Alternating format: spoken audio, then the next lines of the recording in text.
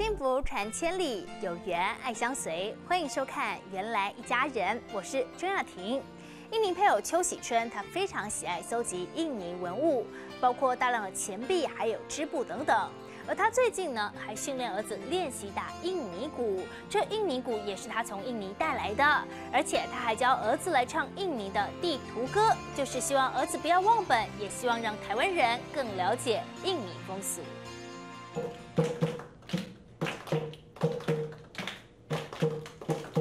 着印尼鼓的小学生是印尼配偶邱喜春的儿子，看他熟练的手法就知道下了不少苦心。因为刚好学学校有教，然后刚好妈妈也买那个这个鼓，所以我就学了。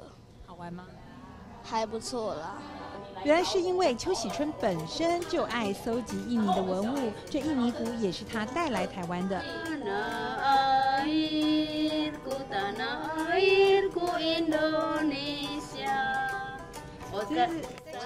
不止如此，印尼传统歌谣邱喜春也拿来教导儿子。从那个沙邦哈到马洛给哦，他说一个一个一个呃一个一个哈岛哈都是排成一个岛。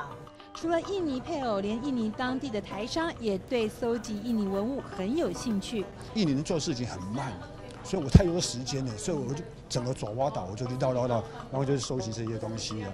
他们大方出借文物，在南港新移民会馆展出，包括殖民时代的古物，相当珍贵，就是为了能让台湾人更了解印尼风俗。